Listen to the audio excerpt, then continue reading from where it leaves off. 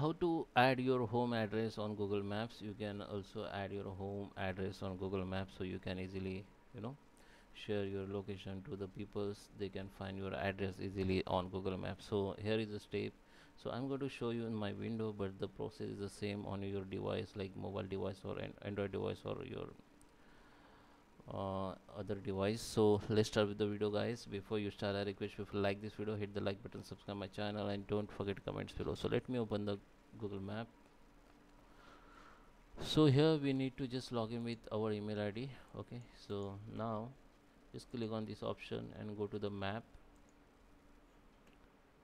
Just the map will be open like this. So here what we need to do to order to, in order to uh, add your home place. Just click on this option here. And if you are using phone mobile phone android phone then you will see at bottom option you will see the option called contribution. So click the contribution option on your bottom line. And after the click on contribution you need to click on the add missing place or add the place. Okay then this window will be open on your window or phone then here you have to just write your home name or place name. Here is the category you have to select. So we have residential apartment and the we need to add address here. So it is added.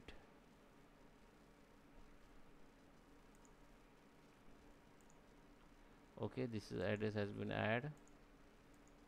Okay you can uh, you know search for uh, location within. You can add some location within here or you can edit map from here. And you can drag location like this. Go to the edit map and you can drag the location like this. If you want to perfect location you can make sure this icon. You can use satellite map also. You can hide labels and use zoom in zoom out and add the perfect location like this and click on save. Okay here the you can add the more details like contact number website about your date I don't know whatever add the specific date. Okay you can add the photos you can claim this business.